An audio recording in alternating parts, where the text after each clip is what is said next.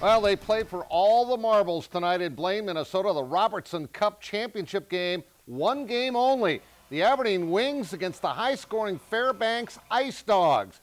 Here's a look at the Fogerty Ice Arena where they played tonight, and Matt Vernon was simply sensational for Aberdeen. He was the MVP of the division. Look at those stops right there. And watch this crazy save.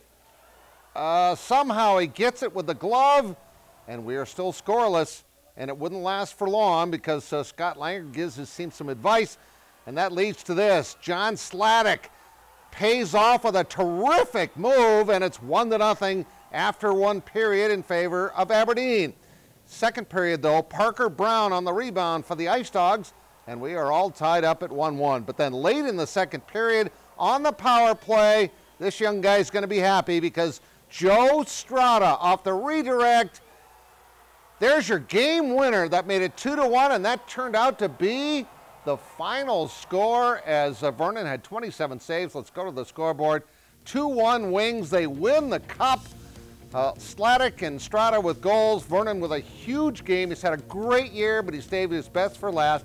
And Vernon and his head coach, Scott Langer, are standing by on the ice with our very own Zach Borg. Zach? Guys, I got a couple of special guests the goalie, Matt Vernon, the head coach, Scott Langer, and we got this guy. He is very heavy. He's the Robertson Cup, and it belongs to the Aberdeen Wings. I'm going to speak to Matt Vernon. I'm going to let you put that down first, though, because it's really heavy. Matt, how does this feel to win this championship? An unbelievable 2 1 win. There's, there's really no words. You know, it's we've this team has been striving for this since day one. We've always talked about it. Uh, it's been our, you know, it's been our only goal. Coach Scott Langer, you've been in this 20 years coaching junior hockey, your first championship. I can't imagine much better way to win. How does this feel for you to, to achieve this? Uh, it's special, you know, especially with this group of guys. They've uh, they've been a real special group. I've had a lot of good teams over the years. These guys have just been a special core guys.